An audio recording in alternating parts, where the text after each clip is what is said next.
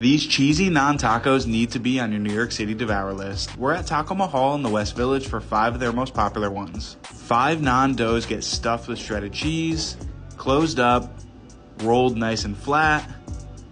Each flattened naan dough gets lined up, drizzled with water, slapped.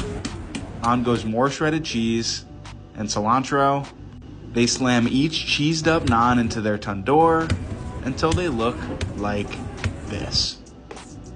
They pop them out and pile them up.